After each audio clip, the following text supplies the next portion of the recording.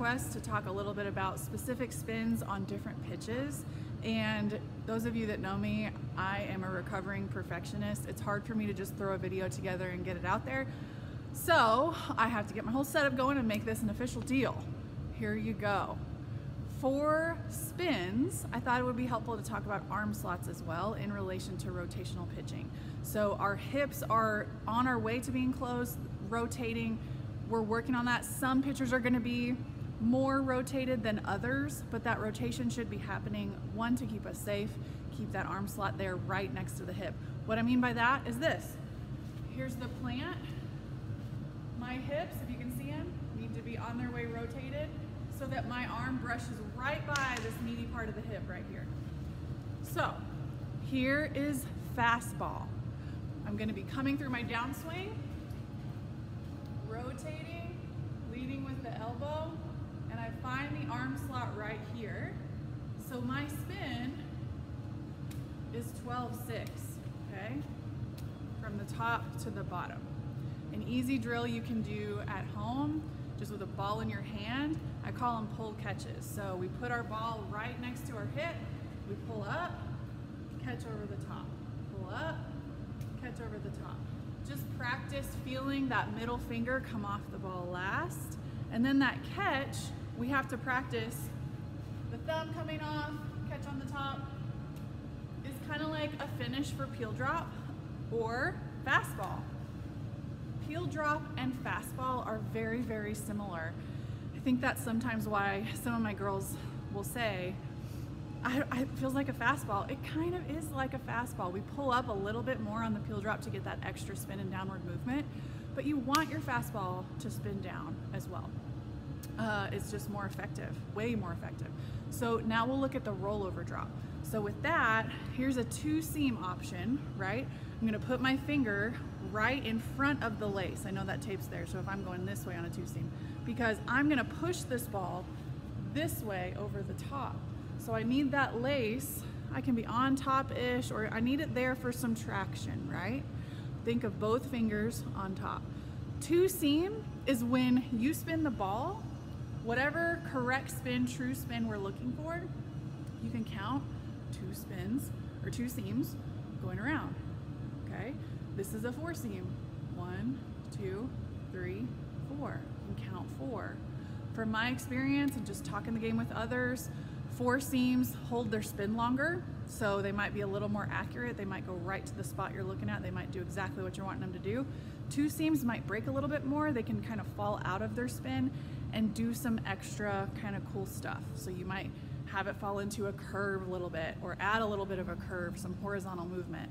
Um, I think both are great. Pitcher's preference there. For me, if I have a pitcher that is not throwing above at least, we'll say 54, 55, it's hard to see much of a difference in our spin rotations and revolutions as well. So we need to kind of look at those numbers um, before you see a big difference. But it doesn't mean you can't throw that two seam and keep working towards that extra movement, extra little stuff. And then the other side of that too is a pitcher's development, maturity, finesse. As you get better with your movement pitches, you will start to be able to control and see like, oh, when I do this little thing with my finger, the ball breaks a little bit more this way. It's crazy. It's really cool to see and be on the other side watching pitchers start to learn all of their tools and their craft.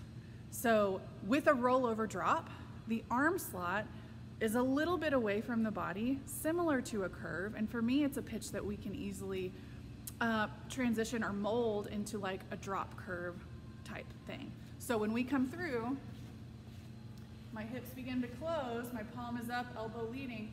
I'm gonna be a little bit more away from my body and I'm gonna work to find what I call a cup of water right there. And then we dump our cup of water out. So we wanna be right over the top with that so that we get that 12-6 spin. Both are great. I, I threw a rollover drop. I got really close into my hip when I threw it.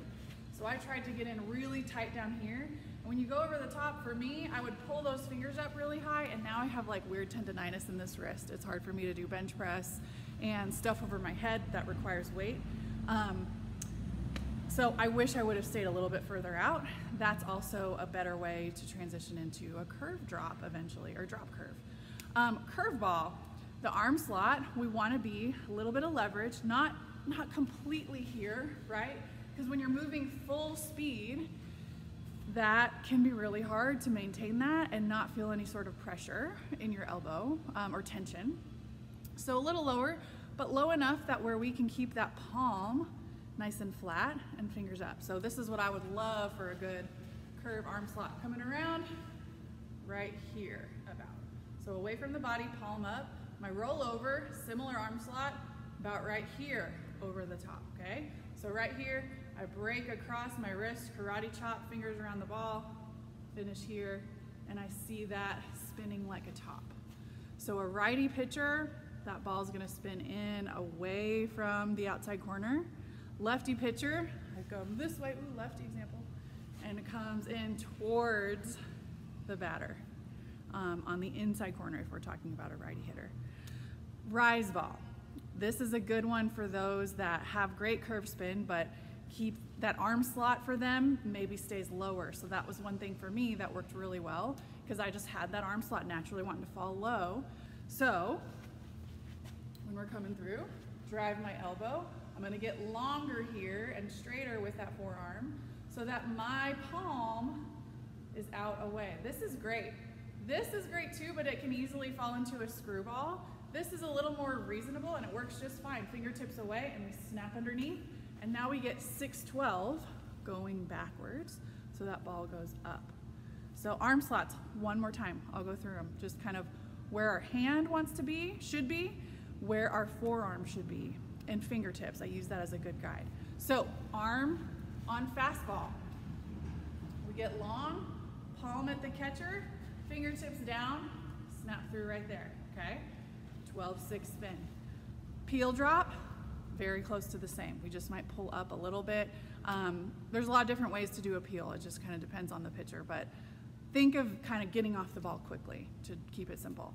Roll over a little bit further out, a little more leverage away from our body. So we're here, our grip, a little further out, right over the top, okay? Curveball is almost the same, but we have our palm up, so we snap underneath.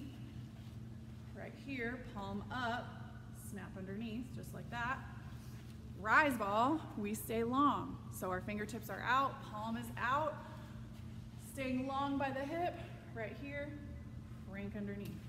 Um, one funny thing I like to say to my kids, anyways, a curveball, you want to think of your wrist moving as if you're unscrewing a light bulb.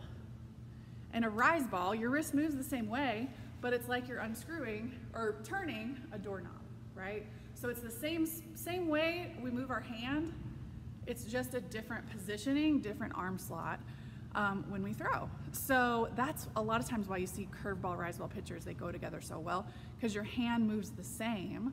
Um, we just are in a different position to get different movement on that ball. So I hope that helps. Let me know if you guys have questions. Have a good one.